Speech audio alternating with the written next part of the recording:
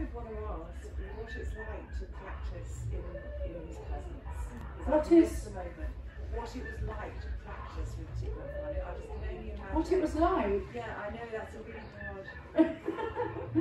I Well- quality, not not yeah. Oh, I don't know. I, just love him so much. He's been a huge Yeah. influence I- on my practice, and I, have- I yeah, was never sorry. know. What it was like to practice with Thich Nhat Hanh. Well, that's going to be different for everybody, isn't it? But um,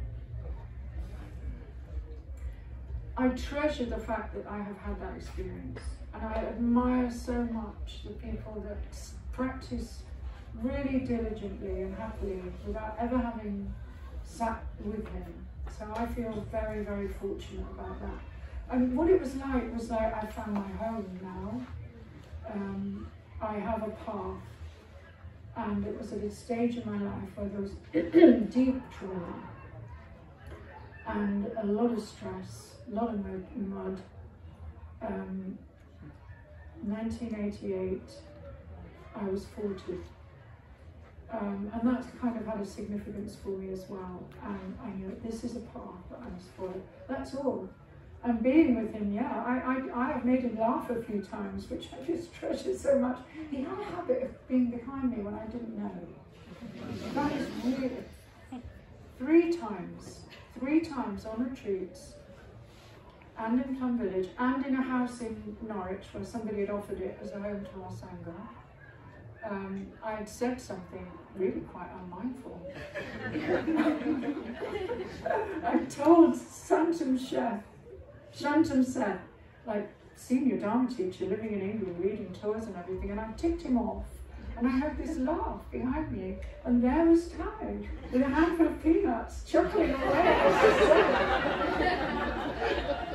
and that, that's happened three times in my life, and I treasure those moments because, you know, very few people have had that.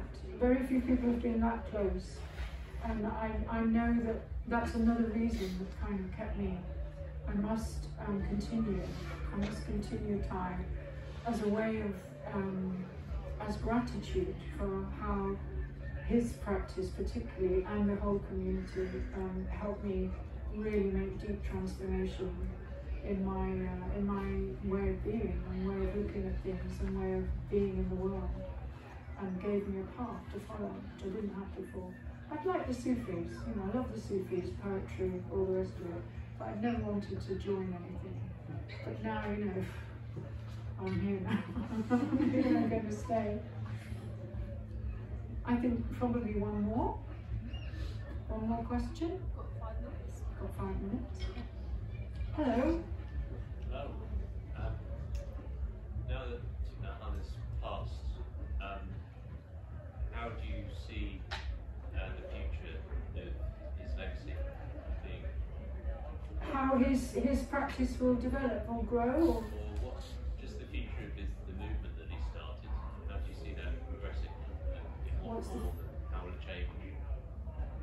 I have faith, because he had faith in the monastic sangha and the lay sangha being having been given enough tools and enough teachings from him to be able to continue happily and wisely.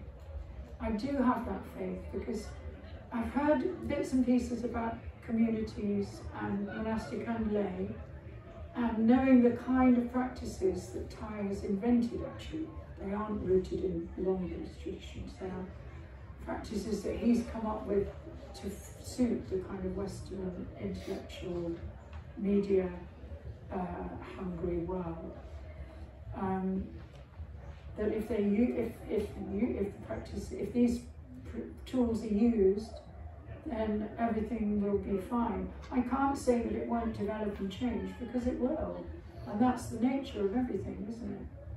But I do know that the monastic Sangha and the lay Sangha that he's left behind um, will, will go as a river, as he always advised us to do. And that's the key, you know, kind of. Um, I liked what the Sarah said here about the, um, one of your festivals, uh, the community that was getting it together. Uh, they wanted to have music playing while they were working, and one of them said that she couldn't handle that. She needed silence, and so the the group made a, an agreement that okay, you know, if one person in the sangha is unhappy, the whole sangha is unhappy. You can't be happy while other people are unhappy. If you know the story of the Banyan tree deer, no? Uh, if you want a story to um, illustrate true community sangha mind, there's a very well-known Buddhist story called the Banyan Deer King. Um, so look at that because he saved a whole kingdom from having uh, its animals hunted. Basically, he was given freedom, but he said, I can't be free if you're going to be shooting the birds of the air. Okay, said the king, okay, we're not shooting any birds anymore then. Off you go. No, no, no, I can't be happy or free as long as there are fish in the rivers that you're going to hunt. Okay, said the king, you've got your fish, you know, what else do you want? Well, how can I be free if every, other four-footed creature in this country is going to be hunted with your arrows? So uh, finally the Banyan Deer king got his wish that the whole of that land in India was then uh, uh, animal friendly at least.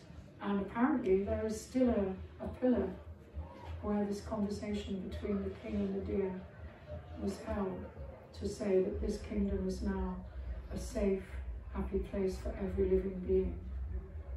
So I think it's easy to find. Uh, it's in a book. Um, I can't remember the name of the book or anything, but just Google because there's a lot leading up to that conversation. But basically, I, I love that idea that if there's one person not happy, then everybody, we all, you know, we're all one person. So how can I be happy? I can be hopeful always. Yes? You're welcome. Well, thank you for being here.